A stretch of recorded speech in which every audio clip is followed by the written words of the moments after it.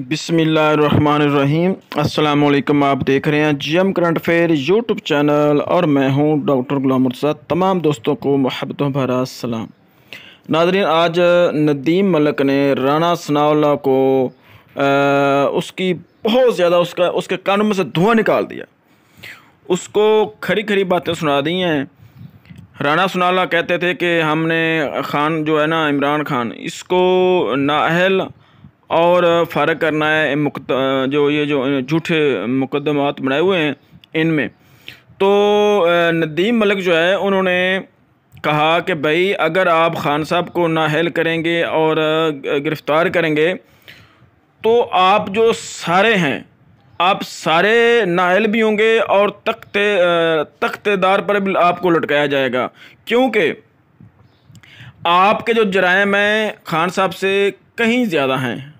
आपने तोशा खाना से घड़ियाँ भी लीं गाड़ियाँ भी लीं और उनको बेचा भी। तो ऐसे तो आप नहीं बच सकते कोई सियासतदान सियासतदान भी नहीं बच सकता। तो उन्होंने आज राणा सुनाला को भाई उनके कानों में से धुआँ निकाल दिया। आइए सुनते हैं उन्होंने क्या क्या कहा इमरान खान का मुस्तकबिल क्या है? हम्म। क्योंकि लोग जोड़ते हैं कि पीएमएलएन की इतिहादी मुस्तकबिल वही है जो फितने का मुस्तकबिल होता है। इमरान खान की किस केस में गिरफ्तारी का आपको लगता है कि ज़्यादा इम्कान मौजूद है? देखिए मैं तो जाती तौर पे ये समझता हूँ कि उसको अदालत सजा दे उस सजा में वो जेल भी जाए और नहल भी हो। हम इमरान को सजा अगर उसने गलत किया तो होनी चाहिए लेकिन आप सबको क्यों नहीं पकड़ना चाहिए? तोशा खाना के आप सबके आपके जो लीडर से बड़े बड़े तोहफे लेके घरों में गए पकड़े इमरान को भी आपके लीडरों को बनाया बनाता वो केस क्यों नहीं बनाया उसमें वो अब आपका बनेगा तो उसका भी बनेगा अल्लाह खैर रखे ये दिन आएगा। चले। आप इमरान को तोशाखाना में सजा दें हम्म। कल उसकी बारी आएगी वो नवाज़ शरीफ और जरदारी को तोशाखाना में सजा इसकी बारी तो नहीं खैर आती लेकिन ये ऐसे ही लगता है नवाज़ शरीफ जब जाता था ना जद्दा तो कहते थे अब ये गया नवाज़ शरीफ। फिर नवाज़ शरीफ में और इसमें बड़ा फ़र्क है। एक सौ नब्बे मिलियन पाउंड में इमरान को अगर सजा हो नहीं तो सात जजों को पकड़ना पड़ेगा आपको। नहीं सुन ले। सात उस वक्त की स्टैब्लिशमेंट को पकड़ना पड़ेगा सुन ना ना एस्टेब्लिशमेंट को पकड़ने की ज़रूरत है ना जजों को पकड़ना। साइफर के अलावा बाकी दोनों केसेस में आपकी दोनों पार्टियों बड़ियों की पीपल्स पार्टी और नॉन लीग की लीडरशिप सिमिलर केसेस के अंदर पकड़ी जाएगी आप उसको सजा ओ भाई सिमिलर केसेस के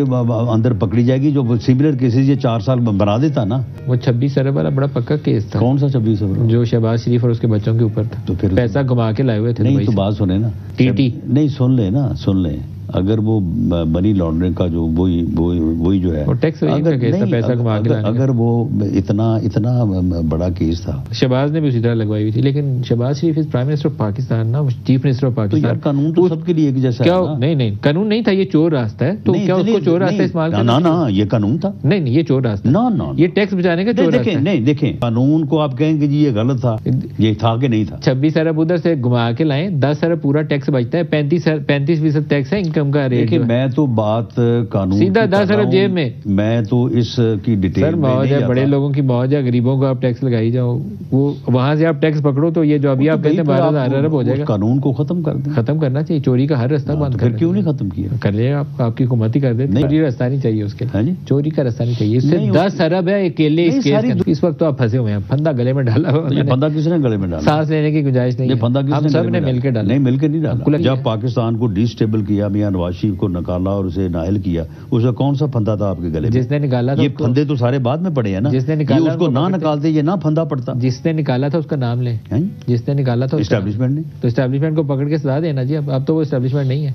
तो बात ये है कि स्टैब्लिशमेंट तो बदल जाती है और फिर दूसरा ये है कि स्टैब्लिशमेंट का जो मोरा था उसने आगे फिर उसने डाला ना आप मोरे को लेके सारा दिन कहते हैं फितना फसाद। हम्म। जिसने निकाला था डंडे के ज़ोर के ऊपर उनका आप नाम अच्छा चले सुन लें। वो ये आके सियासतदान बन जाता आप उसको पकड़ने हैं बाकी उस पूरे सोच को नहीं पकड़ रहे नहीं दो इश्यूज़ के ऊपर आपने पाकिस्तानी कौम को ट्रक की बत्ती के पीछे लगाया था कि पंजाब में इलेक्शन नहीं हो सकता केपी में भी इलेक्शन नहीं हो सकता। सेंसेस हम्म। आ रहा है। सेंसेस की वजह से हल्काबंदियाँ चेंज हो। जानी है। सुबाई का एक के नीचे होगा कौमी का दूसरे से होगा तो ये तो इंतखाब ही नहीं हो सकता। दूसरा एक न्यूट्रल सेटअप का तस्वुर है आईने तो पाकिस्तान ये तो आप जो है ना तो न्यूट्रल सेटअप के नीचे इंतखाबात एक दिन अब इन दोनों चीज़ों के ऊपर आपने छह महीने सुप्रीम कोर्ट को गोली कराई है। अब आप दोनों दोनों से भाग गए ये आप डंडी मार रहे हैं वो आपने खब्बी दिखा के सज्जी मारते हैं ना सर वो किया आपने नहीं, आप- माह नहीं आप जो है ना ये सिर्फ़ खब्बी दिखा रहे हैं सज्जी दिखा नहीं रहे। देखिए हमने सिर्फ़ ये नहीं कह रहे थे दैट वाज ये तो कह रहे थे ना, in addition to that कुछ और कह रहे थे। पंजाब का इलेक्शन जो है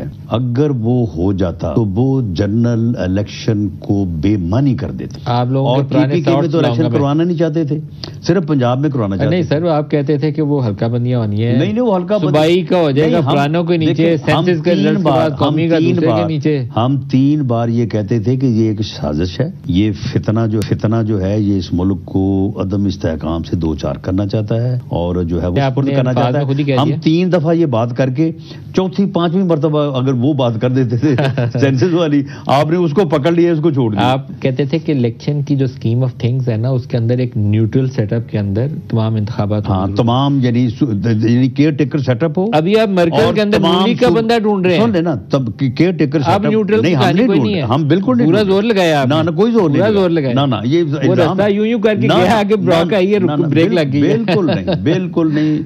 सौ फ़ीसद मैं इस बात की तरदीद करता हूँ कि कोई हमने रास्ता नहीं ढूंढा। नवाज़ शरीफ की वापसी, चौदह अगस्त को आप, मुझे नहीं लगता आएँगे, वो आप बाद में आएँगे। देखिए जी जो इलेक्शन कंपेन होती है ना असल वो उस दिन शुरू होती है जिस दिन निशान अलॉट होते हैं। वो है असल कि जब मियाँ नवाज़ शरीफ साहब इंशाल्लाह आएँगे पहले उनका इस्तकबाल होगा। सर डेढ़ माह इलेक्शन से पहले अगर आप उनको लाने की कोशिश करें तो आते ही पहले जेल जाएँगे प्रोटेक्टिव बेल कराएँगे या आप उनकी फिर सुप्रीम कोर्ट में केस जेल क्यों जाएँगे जी? प्रोटेक्टिव बेल होगी फिर भी केस है उनके लगे हुए तो कोई बात नहीं केस जो है वो बाद में अपीलें हैं ना उनके केस तो नहीं है ट्रायल थोड़ी होना है। और वैसे भी। डिस्कालीफाइड है।